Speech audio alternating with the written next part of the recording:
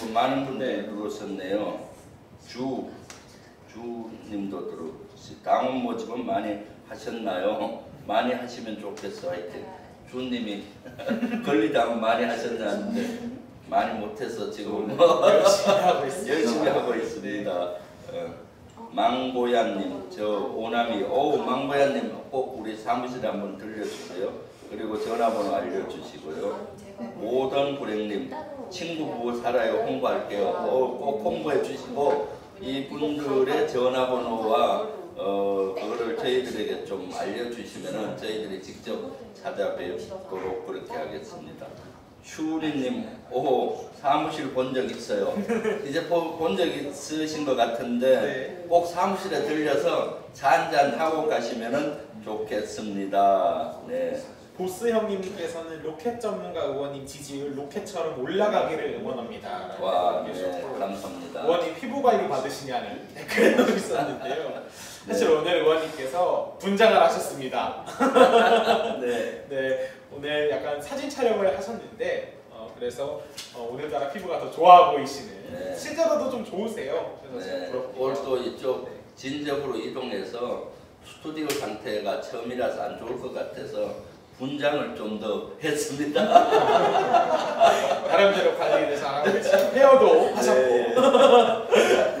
오늘 뭐 방송 빵빵 터트리시네요 그냥 그래서 네. 네 좋습니다 어 MM님께서 6월 중순에 사무실로 강연 들으러 갈게요 라는 네. 댓글 보내셨고 아. 네, 많은 댓글 남겨주고 계십니다 자 그럼 네. 다음 질문으로 지나가서 아, 네 배워보도록 하겠습니다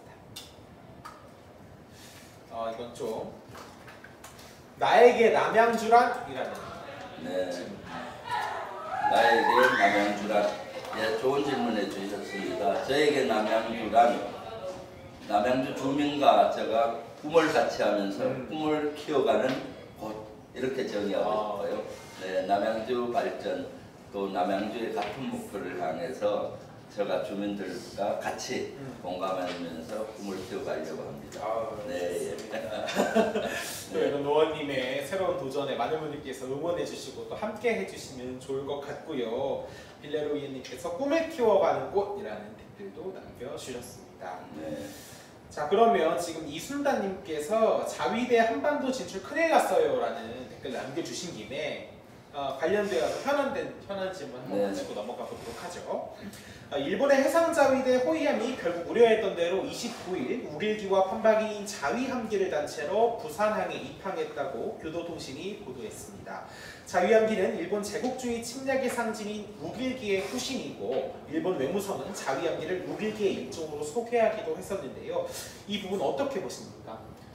적절하지가 않죠. 사실 이번에 해양 차단 작전을 위해서 일, 어, 한미일 호주 네 개 나라가 훈련을 앞두고 어, 부산항에 각 국가의 군함들이 와서 오늘 아마 들어온 것 같고 그, 그런데 일본에 이제 자위함기를 달고 들어온 거죠. 자위함기는 어, 우길기 일제 강점기 때 쓰던 그 우길기 형태와 거의 같아요. 사실 약간의 그 부분이 있지 유심히 봐야 부분이 있는 거죠. 그것은 우길기라고 봐도 가, 과언이 아닙니다. 그것을 버젓이 달고 부산항에 입항하는 것은 아주 적절하지가 않습니다. 그래서 사실 문재인 정부 때는 한 번도 그런 적이 없었어요. 과거는 몇 번 있긴 하지만은 지금은 사실 우리 국민 정서상 그것을 용납되지 않잖아요. 그렇죠. 자유함기가 훈련 목적상 들어온다고 해도 자유함기를 달고 들어오면 안 되는 거죠. 그래서 제가 국방부에도 야 그것은 적절하지가 않다. 굳이 부산항에 입항을 하지 않더라도 훈련은 할 수 있을 텐데 왜 그렇게 하느냐 했더니 와서 뭐 통신 정보도 하고 뭐 리허설도 하고 하기 때문에 들어온다고 하니 그럼 들어오면 자유함기를 내리고 아, 차라리 일본의 그 국기를 달고 들어오면은 무길기가 아니잖아요. 그렇게라도 너희들이 요구했느냐라고 국방부에 얘기했더니 전혀 그런 요구 하지 않았던 것이죠. 그래서 아주 부적절하다고 봅니다. 이번에 하는 해양 차단 훈련은 참고로 북한의 을핵 미사일에 대응해서 제재를 하고 있잖아요. 국제사회가 제재하는데 제재를 위반하면서 기름이라든가 여러 가지 무기라든가 북한에 들어가는 경우가 있어요.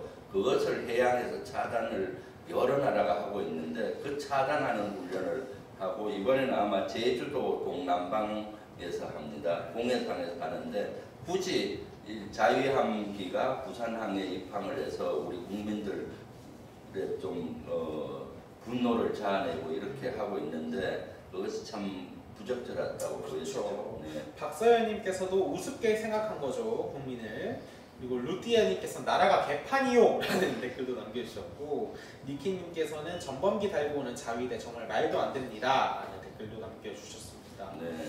그래서 의원님께서 좀 이 부분에 대해서 국민 정서에 맞게끔 바로잡는 역할에 좀 더 집중해 주시면 좋을 것 같다라는 생각이 네. 드는데 문재인 정부 때도 사실 관함식 때 일본 자유함기가 온다고 해서 문재인 정부에서 요구를 했어요. 야 자유함기는 우길기 형태니까 달고 오지 마라. 대신 일본 국기를 달고 와라. 현재 국기를. 그렇게 요구했을 때 일본에서 검토해보고 자기들은 관례상 자유함기를 달고 올 수밖에 없다. 그래서 고집을 부리다가 결국은 관함식에 참가를 안 했었거든요. 네. 정부가 그런 걸 요구해야죠. 정부는 뭡니까? 윤석열 정부는 국민의 권한을 대리로 받아서 하는 거잖아요. 네. 그럼 국민의 뜻에 충실해야 되는데 국민들께서는 일본의 우길기 이런 것들을 보면 어떻습니까? 과거 일제 강점기의 그 아픈 상처가 다시 살아나고 또 일본은 우길기를 자꾸 이렇게 보여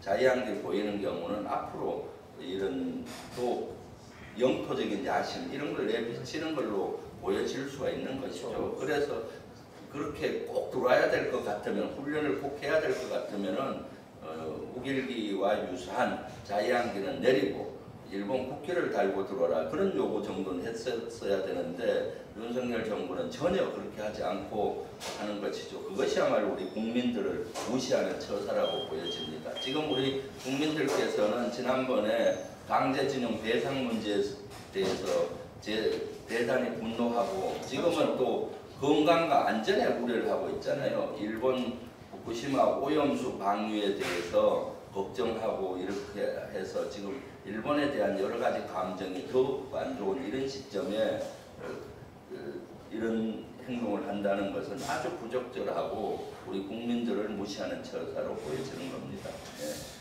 관련해서 또 김 복수님께서 후쿠시마 오염수 방류 좀 막아달라. 우리 집은 아이들이 생선을 안 먹는다 벌써부터. 그래서 네. 걱정이다라는 댓글도 남겨주셨습니다. 그러니까 후쿠시마 오염수 방류가 지금 우리 당에서는 어떻게든 막으려고 하고 있습니다.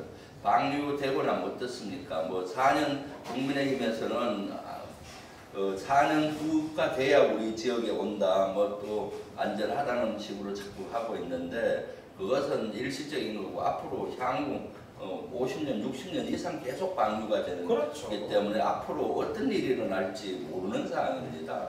우리의 먹는 것이 문제가 되고요. 또 소금도 문제가 되고 우리 군에서는 해군들은 바닷물을 작전할 때는 조, 조수기로 그 걸러서 그렇죠. 바닷물을 바로 네. 먹어요. 그러니까 소금기를 조수기는 어, 소금기는 제거할 수 있는데 방사능에 대한 건 제거할 수가 없어요. 그러니까 이러한 사항은 우리의 안전과 또 군의 안전과도 직결되는데도 불구하고 마치 일본을 편들고 있으니 우리 윤석열 정부는 너무 기가 찰 노릇이죠. 그러니까 저는 뭐 4년 뒤에 우리나라로 그 오염수가 없기 때문에 상관이 없다라는 그 말을 듣고 그럼 4년 뒤에 오는 건 괜찮다는 건가라는 생각도 네. 들더라고요. 네. 그렇게 안전하면 일본 내에서 식수로 사용하고 육지 안에서 쓰면 될 텐데 왜 그걸 바다에 방류하겠다는 건지 도무지 이해할 수가 없습니다. 일본 국민들도 그 해변에 해변에 살고 있는 국민들은 50% 이상이 어, 후쿠시마 오염수 방류를 반대하고 있어요. 아주 왜냐하면 그걸 방류하게 되면은 일본 해변이 오염이 돼버리고 그 해, 일본 주변에 있는 해변에 있는 또는 해, 그 바다에서 잡는 고기류 해산물 판매가 안 될 거 아니에요. 그래서 일본 국민도 반대하는 것을 윤석열 정부가 마치 일본 정부의 스피커가 돼서 어, 자꾸 옹호하고 하는데 그런 것들이 이해가 가지 않습니다. 아 그렇죠. 네. 또 이어서 뭐 현장에 또 질문 하고 싶은 거 있으신 분들은 또 전달해 주시면 되고